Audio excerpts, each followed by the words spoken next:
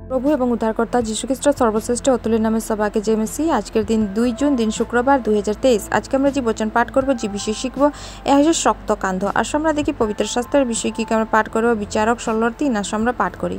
কিন্তু শিমশুর মাঝরাত পর্যন্ত শয়ন করলেন। মাঝরাতে উঠি তিনি নগর দুয়ারের স্তম্ভসূত্র দুটা, কবাট ও দুই বাজু ধরে উপড়ালেন এবং কাঁধে করে হিব্রুনের সামনে পর্বত সিংহে নিয়ে গেলেন। এখানে আমার শামশন এবং তার জীবনের একটি মাঝের ঘটনা দেখতে পাই। যারা শিমশনের জীবনে চাইছিলেন, তারা তার বিরুদ্ধে ষড়যন্ত্র করছিলেন এবং তাকে হত্যা করার জন্য সারা রাত দরজায় অপেক্ষা করছিলেন।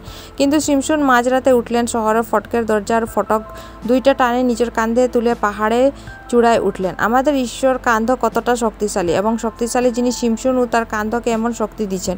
ঈশ্বর এত শক্তিশালী কান্ধতে বিরুদ্ধে কোনো দরজা কখনো বন্ধ হতে পারে? কোনো শক্তিশালী দুর্গ এমনকি জেরিকোর দেয়ালও তাকে চ্যালেঞ্জ করতে পারে না, কারণ তিনি ব্রঞ্চের ফটকগুলো টুকরা টুকরো করে লোহার দণ্ডগুলো কাটে দেন। অনেক কর্তৃপক্ষ হয়তো তোমার বিরুদ্ধে উঠে ষড়যন্ত্র করছে, তারা ভোর পর্যন্ত অপেক্ষায় থাকা এবং আপনাকে হত্যা করার জন্য দুষ্ট পরিকল্পনা করতে পারে। ভয় পাবেন না, তোমার ঈশ্বর ভোর পর্যন্ত অপেক্ষা করবেন না, তার মধ্য রাতেও আশ্চর্য কাজ করবেন। তিনি যেমন মধ্যরাতে সিমসনের শক্তিশালী করেছিলেন, তেমন তিনি আপনার প্রতিপক্ষের মধ্যে আপনাকে শক্তিশালী, উৎসাহিত করবেন। আপনার অনেক প্রতিপক্ষ আসে তারা কি আপনার বিরুদ্ধে জাদুবিদ্যা এবং ভবিষ্যবাণী করছে? তোমরা কি অমঙ্গল ঘটবে তা ভাবে তুমি কি মনে হতে চিন্তিত? ভয় করো না, প্রভুর কাঁধে হেলান দিন, প্রভুত্ব শাসন তার কাঁধে হে প্রভুত্ব, তোমার জন্য শক্তিশালী কাজ করছে।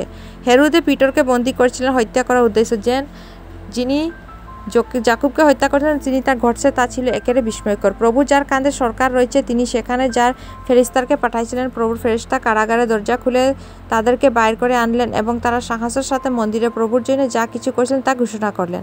যখন পল এবং শিলাসকে বন্দী করা হয়েছিলেন, তারা প্রভুর কাঁধে হেলান দিয়েছিলেন এবং মধ্যরাতে ঈশ্বরের কাছে প্রার্থনা উস্তব গান গাইছিলেন।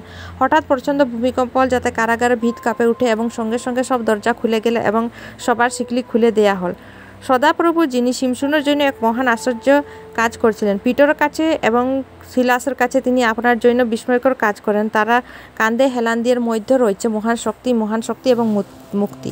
ধ্যান করার জন্য, সন্ধ্যার জন্য যে শুক্ল, এয়া হয়েছে যিশো একত্রিশের পাঁচ আসলে আমরা পাঠ করি পবিত্র শাস্ত্র আজকে কী কী। উড়ন্ত পাখির মতো তাই বাহিনীদের সদাপ্রভু তেমনি জিরুসালাম রক্ষা করবেন।